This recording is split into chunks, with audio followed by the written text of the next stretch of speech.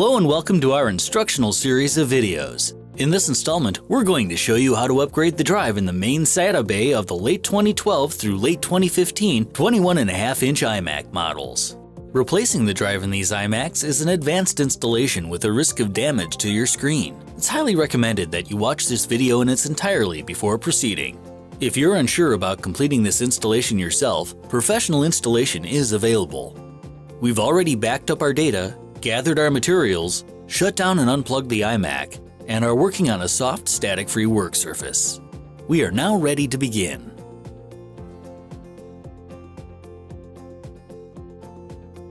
The display on the iMac is held in place with an adhesive around the edges which you'll have to cut apart. This is a tricky process which runs the risk of cracking the display, so you'll need to be very careful. Starting on one of the lower corners, insert the screen removal tool between the glass and the chassis. Work along all the edges of the iMac, taking care not to push out on the glass. All we're doing is cutting the tape holding the display on, not prying the glass away. The process may take a little bit, and you may need to go over sections multiple times, so be patient. The corners may be a little tricky. Make sure the tool is right up against the chassis to make sure all the tape is cut. When near the camera, you may feel some bumps as the tape is thin here, so take care not to damage the camera itself. Continue around the iMac until you reach the other side.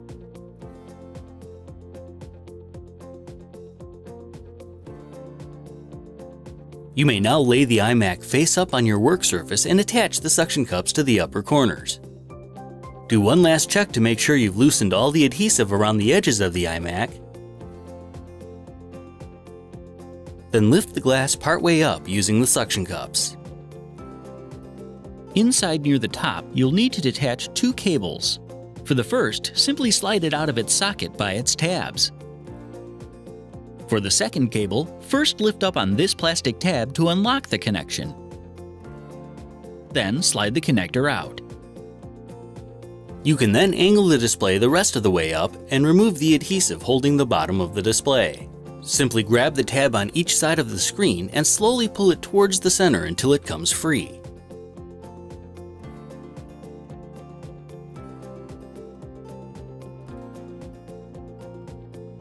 You should be able to remove the display and set it aside. The hard drive is located here. To remove the hard drive, we first need to remove these retainers. The retainer near the speaker has two screws that are the same size.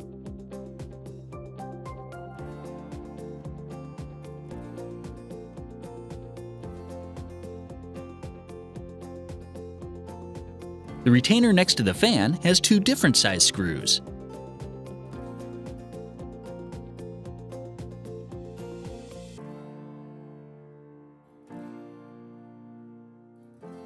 You can then lift the drive out of the bay, detach the SATA cables from the drive, and remove it from the iMac.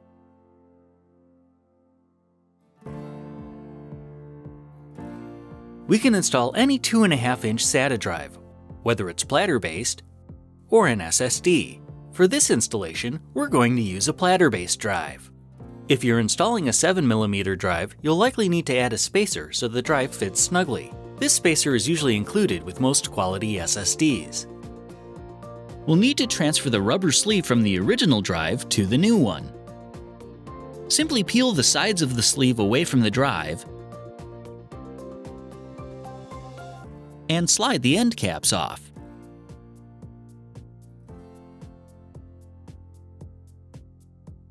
Then, insert the new drive into one of the end caps and slide the other cap over the opposite end. Gently squeeze the sides to attach them to the new drive. There should be enough residual adhesive left to allow them to stick. The new drive is now ready to be installed in the iMac.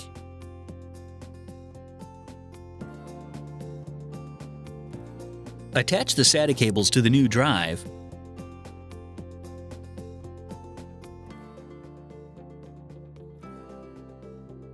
Then set the drive itself into the bay.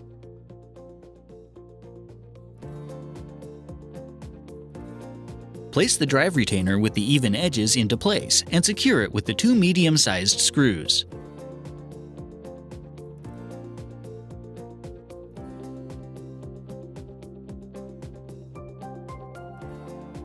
Then do the same with the other side. The side over the power board takes the long screw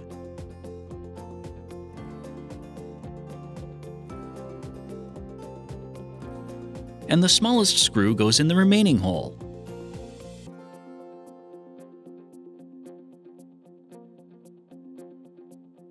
Now it's time to replace the adhesive that holds the display to the iMac. First, peel up any of the original adhesive remaining on the iMac.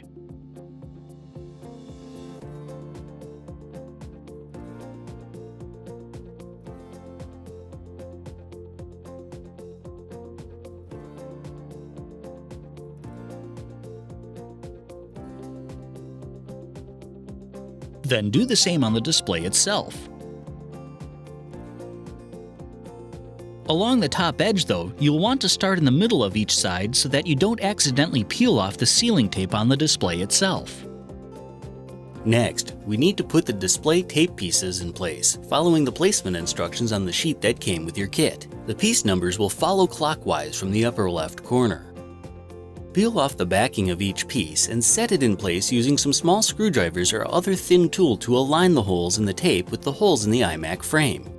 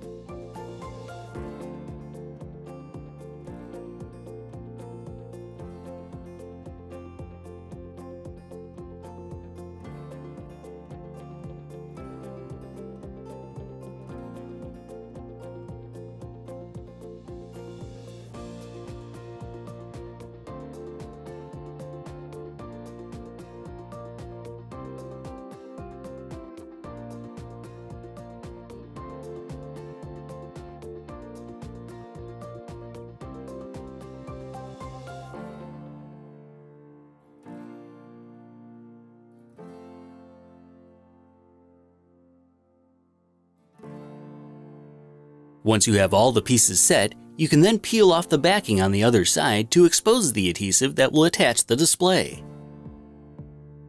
Set the display along the bottom edge, as flush with the lip and as centered as possible, but don't let it close yet as we need to reconnect the video cables.